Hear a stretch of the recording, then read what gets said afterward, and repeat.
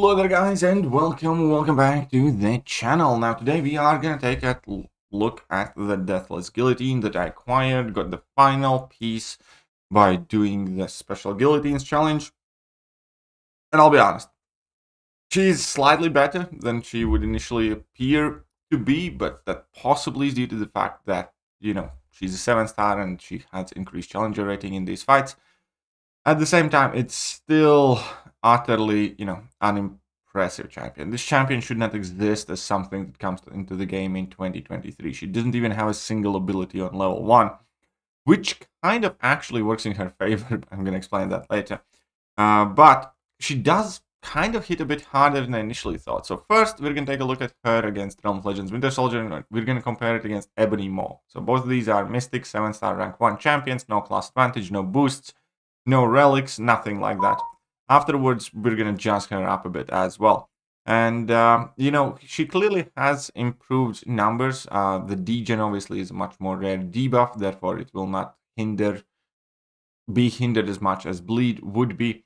And um, for a seven star, you know, it's not necessarily majorly impressive stuff, but it's not awful by any means. And we can see that, you know, the crit rate seems to be quite decent and it is kind of RNG dependent as well. And that is going to be a huge thing for her. If she can crit and if opponent doesn't have crit resistance, that's massively helpful. If she cannot crit, she will be significantly slower. Uh, but at the same time, you know, I have dropped two level twos and uh, she's not doing too bad. Uh, she's not doing too bad uh, taking down that Winter Soldier. Uh, it is quite a bit RNG dependent. I have gotten significantly varied five times based on my crit RNG. I think the variance is like 30 plus percent, as in like it can go from like uh, 1 minute 20, 1 minute 30 to over 2 minutes if you do not just get the crits in. So that is kind of concerning. But here we can see that 2 level 2 is level 3. And the fight is over in 1 minute and 22 seconds. So that's not half bad. So then I tried bringing in Ebony Maw, and you know, I had a fairly standard fine Ebony. I didn't play it perfect. I think one special attack or two specials, I end up with seven degens instead of the nine. But for the most part, you know, I played it about as well as I can. And and the result is two minutes. Now, Ebony Maw obviously is a defender primarily, and he's not the highest damage output champion. But he's a modern champion with actual abilities and actual use. Guillotine can kind of outpace him, and not by a little. Obviously, I'm not saying Guillotine is better champion than Ebony Maw. Not even close. Ebony Maw is way better overall. But when it comes to raw damage output, Guillotine definitely has more uh, in vast majority of the cases. Now this is going to be something interesting. So here I jazzed up Guillotine with a 6-star um, Ghost Rider Relic that improves the degen. And I also gave her a full-on synergy team. Still no boosts, but uh, we do have a mutant synergy team to increase her crit rating and crit damage. As you can see, she is critting significantly more. And uh, now her damage output uh, is is very, very nice. Was like a level one. This was the, the Deadpool in like 18 seconds. But this is again with the relic and with a mutant team that does give significant amount of improved crit rating and crit damage rating and attack, which is super important for Guillotine because she doesn't really have any of that in her kit and her damage does directly depend on how frequently you can crit. And even this fight, now we have class advantage here, but it's like 200k health, right? So 200k health is melting uh, once she's synergized up. Uh, but we're going to do this seriously and see how she does without any synergies. Obviously, we have to, right? But still, this is also like 24 seconds. not bad. So now it's just the guillotine. We're to give her relic. We're to pretend that she's going to be like an actual champion that we use. Obviously, this Deadpool is the perfect matchup for guillotine because she can heal reverse. And uh, that is the main reason why she's going to get a fast time here. Because, well, number one, you can reduce the healing with the Despair Mastery, which I do have active here. And uh, then number two, once you get level two, you can flat out reverse the regeneration. Um, and, you know, that will show. So he activates his level one here. You go for the level two.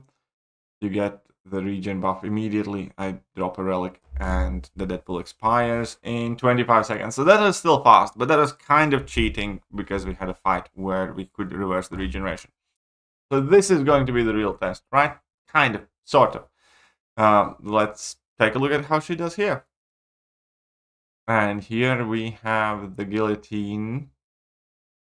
She will be doing better than I thought she would be, even without the synergies. I'm going to admit to that. At the same time, again, I don't like what Kabam's doing with the Deathless Champions. I'm worried for every single next one being released. Again, I think that just not having any ability on a level 1 in 2023 for a champion to be released is just abysmal. I think it's really, really abysmal. But 29 seconds, that's not bad. And here the final clips. The final clips are kind of interesting, so we can synergize her up. And uh, again, we can see that um, I have it, it's very RNG dependent with her. I can't deny it. I have done this fight in under a minute with her as well. It's not going to be the case this time around, but we will have a very solid uh, CMM fight. One thing that I realized with Guillotine is that you want to be using your level 1s over your level 2s unless you need that regen reversal.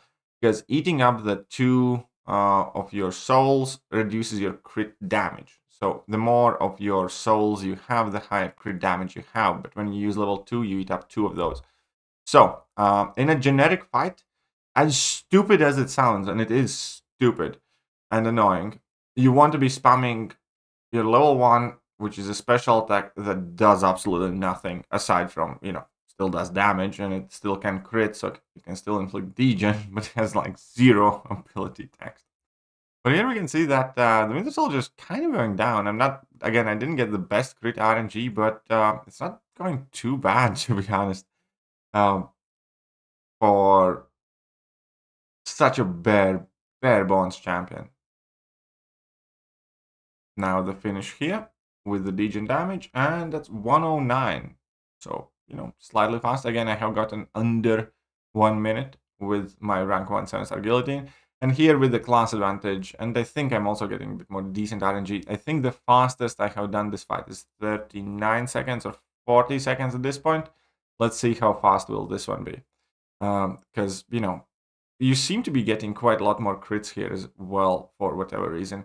The challenger rating here is definitely helping the guillotine though. Uh, but we can see that you stack up some nice 6, 7 degens, you know, that damage adds up. Each of those degens like 790 in this fight. Typically it's like 600 or 580. And now again, we have 7 degens and that health bar is leaking out relatively fast. At this point, we have 17 souls. And um, yeah, no, that, that's all she wrote for CMM, and that took us 45 seconds. As I said, I think 39 is my best. So, um, the Deathless Guillotine, you know, is better than the OG Guillotine one. The annoying things about her is that as a 7 star, any like only realistic bit of utility that you can have from her is the regen, which would be nice but you're pretty much never gonna get it because we can't awaken them. Which is super. They should have just given us awakened versions of these, honestly. If they're gonna release them the way they are, they should have been awakened, I swear. And that's obviously a major point of frustration because it's going to be pretty much impossible to awaken these champions for a very, very long time, and you would never give them awakening gem anyways. And then the next bit is, yeah, that I understand that they were not meant to be quote unquote good meta champions, and that's fine. This still feels incredibly lazy, which is my first reaction when I saw this. She's be- slightly better than I thought, doesn't address the whole point of the champion itself just feeling kind of like a half-assed job. Like it shouldn't exist in 2023. Do not have a champion with no abilities at all whatsoever in level one. And I don't know what else to say. I like Guillotine's animations. I have always liked Guillotine's animations. Will I use her for anything in game at all whatsoever? Probably not. Doubt it. You know, I highly doubt it. So yeah, it, it's. I mean, she's there. It looks cool. Definitely does. Her animations feel nice. That's about the best thing that I can tell about her. And that, yeah, she does have slightly more damage than you'd necessarily think looking at the kit. Let me know what you guys think about the guillotine, and I'll catch you guys soon. Bye bye